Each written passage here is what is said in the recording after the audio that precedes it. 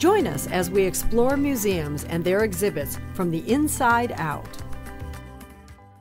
Today we're at the Bruce Museum in Greenwich, Connecticut for a very special exhibition called Masterpieces from the Museum of Cartoon Art. There was a, a concentration of cartoonists in Fairfield County in particular back, and this was 1974, more cartoonists in those square miles than anywhere else probably in the world.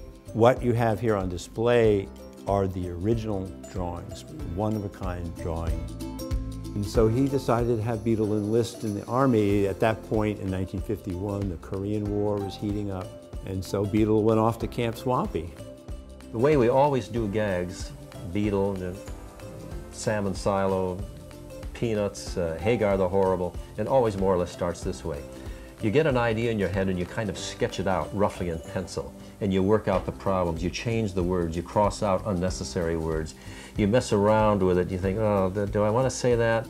Lake, uh, no, I'll change that and I'll change this. What's this guy look like? It's a new character in the strip. He's only going to ever appear once, but how should he look? This is the mayor's Uncle Ezra. You try a couple of faces, this one, this one, this one, and you work the whole thing out. Animation basically, you know, you have 24 frames a second and each drawing is changed just a little bit. So the animator would draw in pencil on a light box each individual drawing. And then there was a whole different department that would trace those onto the celluloid and then paint the backgrounds. We're at Nathan Love Studios in New York City, so let's go inside. So the pipeline is exactly the same, same steps. It just happens on the computer. As you are doing the uh, animation, this is what you're referencing for the design.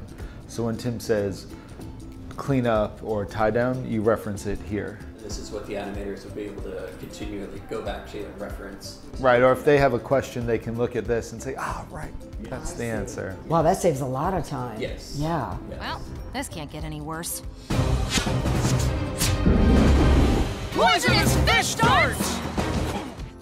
Join us for a new adventure on the next Museum Access.